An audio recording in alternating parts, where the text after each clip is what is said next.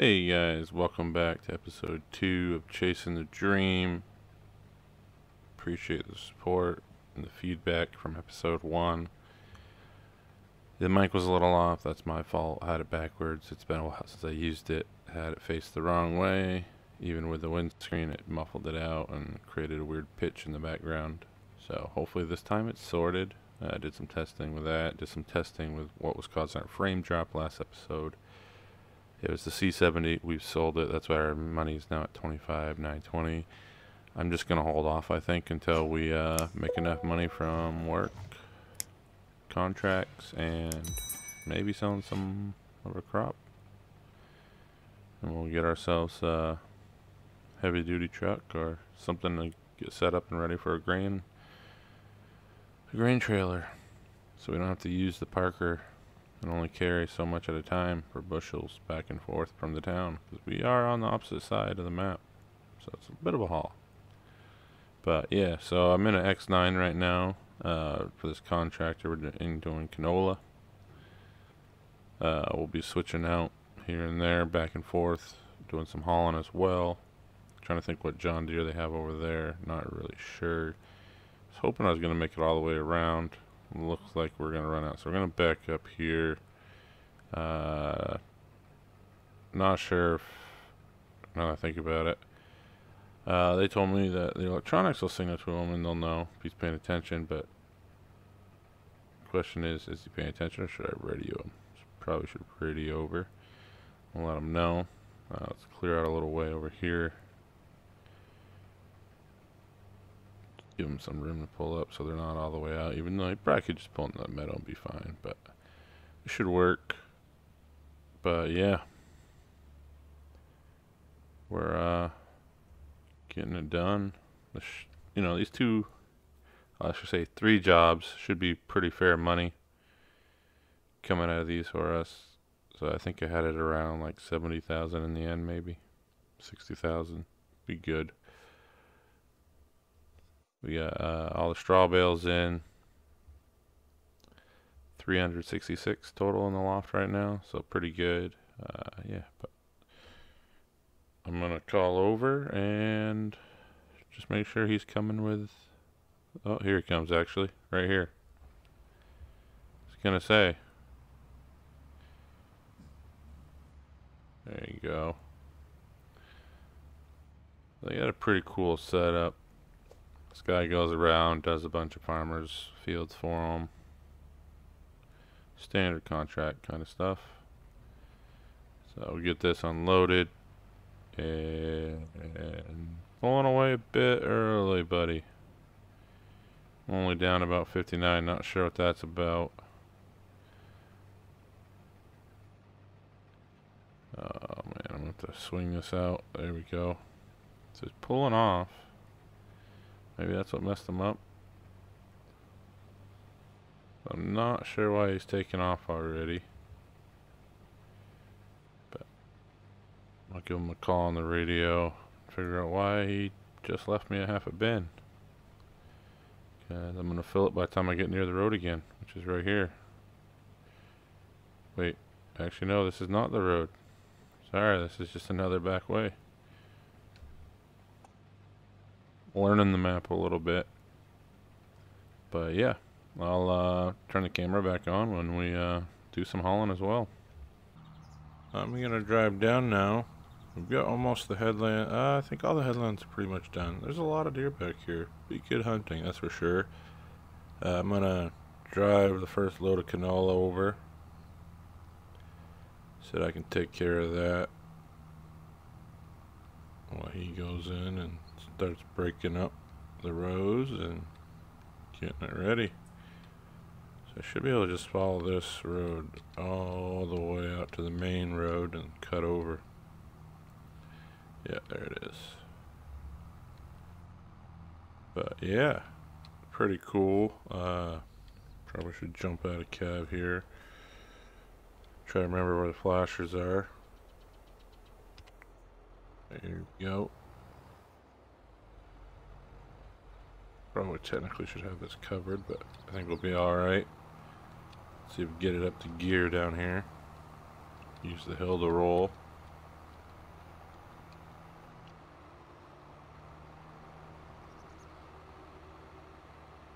But yeah, pretty nice setup. I mean, I wish we had equipment like this, the 8R310, you know, this big Krone trailer and all that, but it's a lot of money. It's going to take us a while to get up to that, and I mean, you know, we're probably going to need pretty good machinery to maintain all that we're trying to own and purchase and grow. So that'll be a good little challenge to even get that going.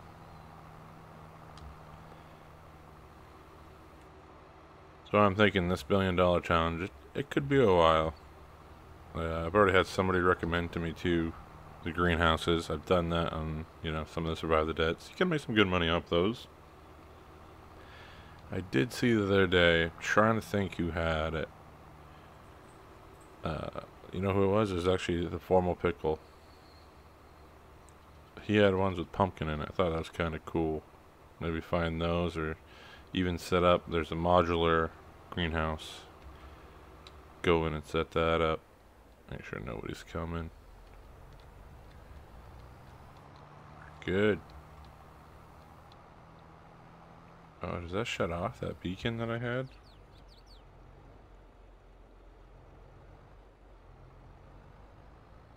Yeah, so I got the hazards on, the beacon shuts off. Pulling a little hard through here. Interesting. I think we technically can go a whole nother driveway down because we're gonna go in along the railway if I remember correctly. Because the actual one yeah there's the bends we want that small roofed one. So I should be able to make a turn right here.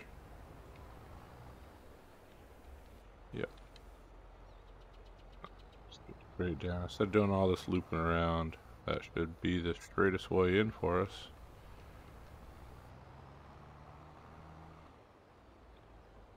Oh boy, you know, oh, I guess it'll fit. It can be a little snug if we get it in here.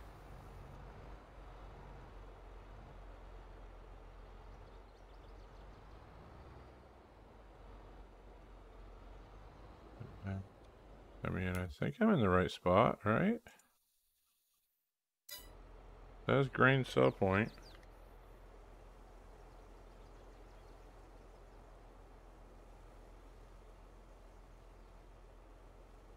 Know if this interesting. This trailer is not dumping it. I mean, it's showing that it's dumping.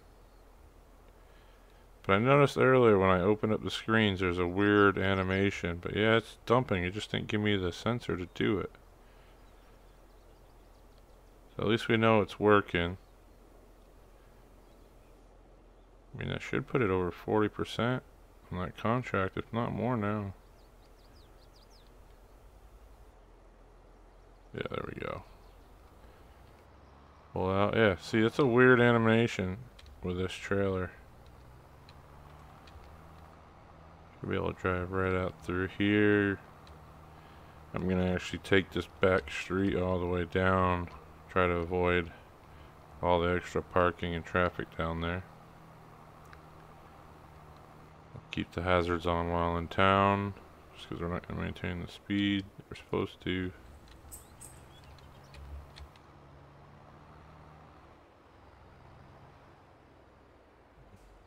By the time we get back, maybe he'll want to switch back into here.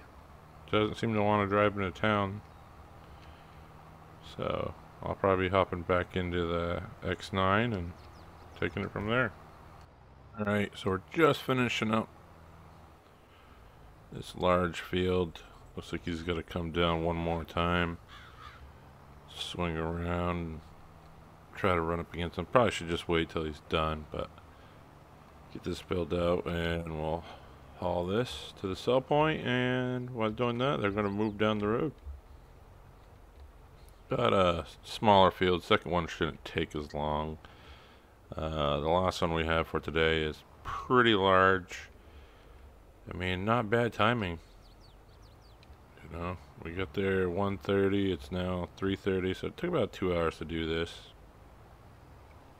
Is pretty good said I'll wait till he gets to the end and then I'll drive up and he can unload it.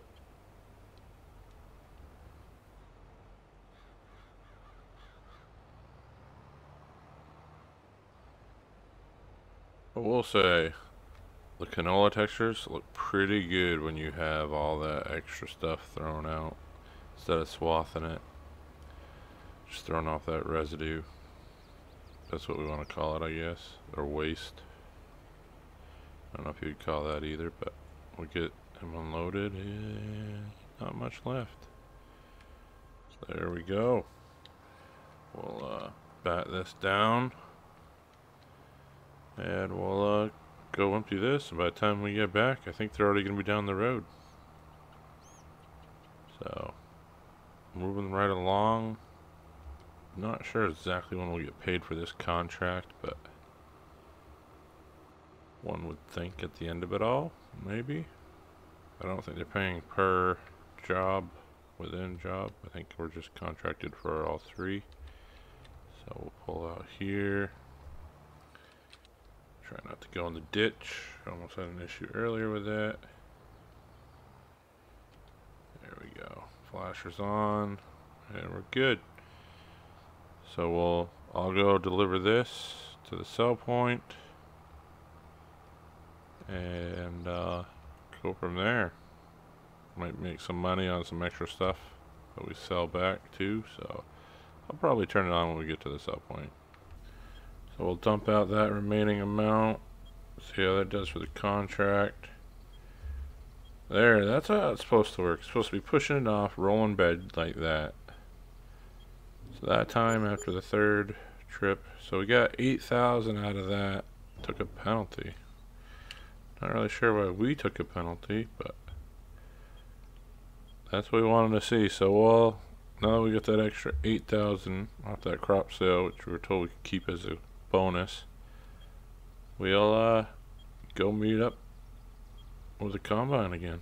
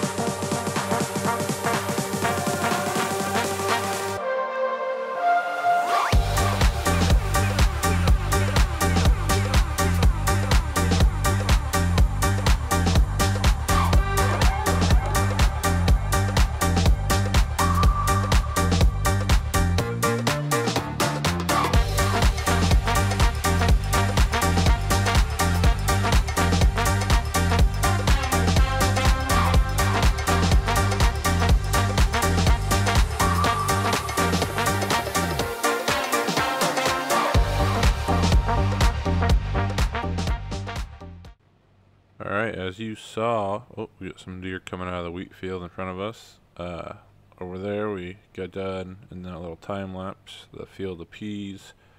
We're working this large field 34 full of wheat. That's pretty much good. So we're up to, I mean, from selling the truck and from, we did get payment from those two other contracts, plus some of the leftover commissions on any of the extra grain the peas. So we're up to 43,000. Uh, something I was thinking about. If we get enough money, there some fairly cheap properties in town. I was thinking about buying one and renting it out. Seems to be more people moving up this way. So I thought that'd be a maybe a easy moneymaker for us. Somewhat. Maybe not. Depending on what taxes are. Worst case scenario, we'll try it out. See how it goes.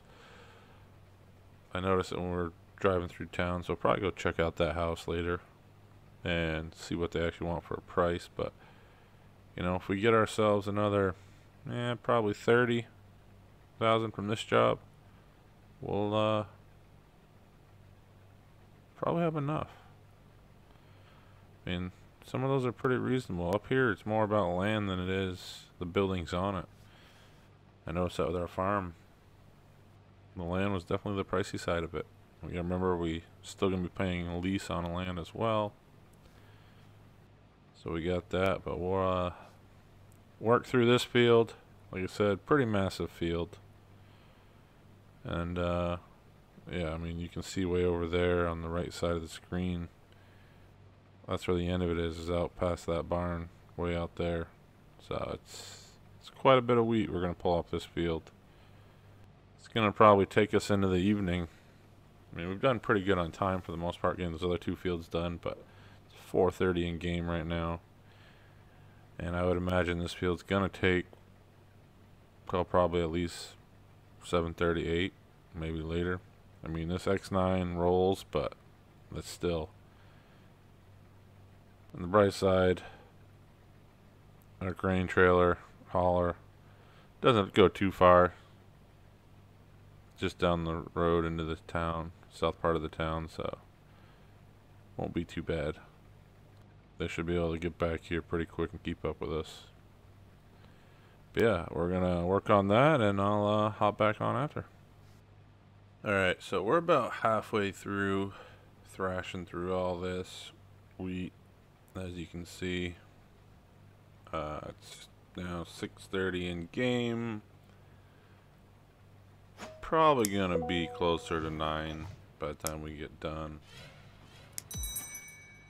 So I think what we're gonna do is we'll wrap this episode up. And uh, yeah I talked to the realtor I guess too. I should add that. And yeah the rental home they're not gonna be able to meet us there tonight. And I don't think we'll get technically paid tonight right off anyway. So next episode, hopefully we'll be able to purchase that rental property. And make some money on that. But uh, appreciate the support. A lot of feedback in the first episode. Don't be shy to comment down below on what you thought or didn't like about the episode. Again, appreciate all the support. Some of you are going out there sharing the content. Really appreciate that. Uh, again, the cow barn we have, amazing job, Pleasant View Farms. Hopefully that'll be making it to all platforms for you guys. I know there's just a few things here and there that Giants wants tweaked. But I mean, overall, to me, it's pretty perfect. It's a great barn. With that said, Farmer Taz, out.